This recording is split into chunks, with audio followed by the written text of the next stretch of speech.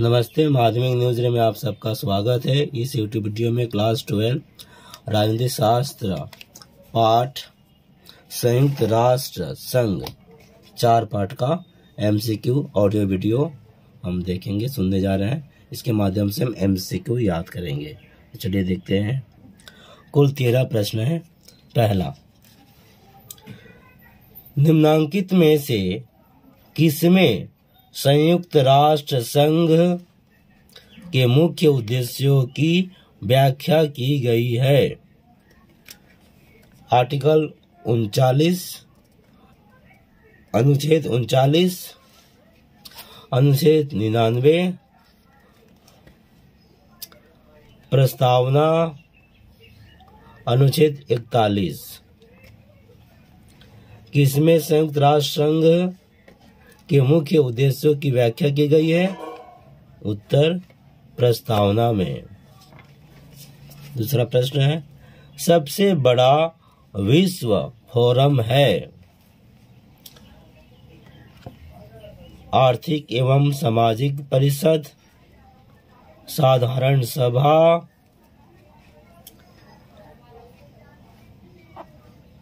सुरक्षा परिषद प्रन्यास परिषद, उत्तर, साधारण सभा। संयुक्त राष्ट्र संघ के अंग है। पाँच, छ, सात या चार, उत्तर, छ। चार नंबर।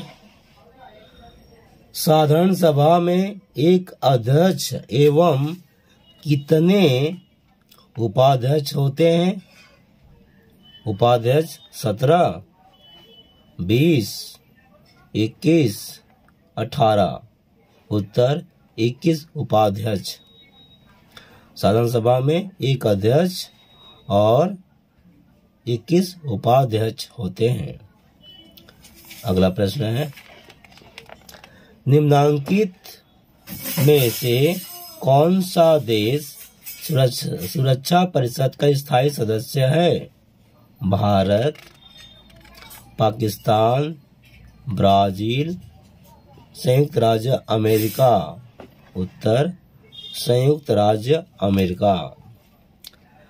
अगला प्रश्न है।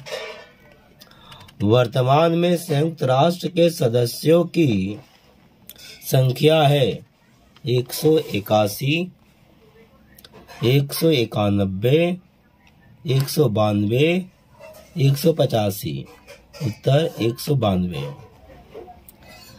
संयुक्त राष्ट्र संघ की साधारण सभा में सारे महत्वपूर्ण निर्णय लिए जाते हैं। साधारण बहुमत द्वारा, एक तिहाई बहुमत द्वारा, दो तिहाई बहुमत द्वारा, एक तिहाई बहुमत द्वारा। उत्तर दो तिहाई बहुमत द्वारा। संयुक्त राष्ट्र संघ के अंतर्राष्ट्रीय न्यायालय के सदस्यों की संख्या होती है छ दस, नौ, पंद्रह। उत्तर पंद्रह। संयुक्त सुरक्षा परिषद के सदस्यों की कुल संख्या है पाँच, ग्यारह, तेरह, पंद्रह। सुरक्षा परिषद के सदस्यों की कुल संख्या है पंद्रह। सुरक्षा परिषद के अस्थायी सदस्यों की संख्या है ग्यारह, नौ, पंद्रह, दस दस। अगला प्रश्न है, संयुक्त राष्ट्र संघ की स्थापना कब हुई थी? 1945 1950 उन्नीस सौ छियालीस, उन्नीस सौ सैतालीस, उत्तर उन्नीस सौ पैतालीस।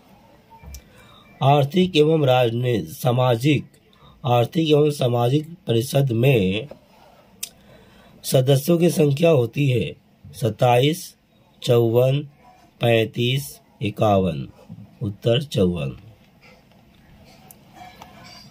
अगला प्रश्न है। संयुक्त राष्ट्र के मूल चार्टर के अनुसार आर्थिक एवं सामाजिक परिषद में सदस्यों की संख्या थी। अठारह, इक्कीस, पैतीस, इक्यावन। अठारह तो इसी के साथ पूरा हुआ।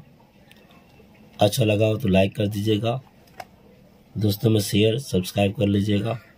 इसी तरह का दूसरा पार्ट देखने के लिए धन्यवाद।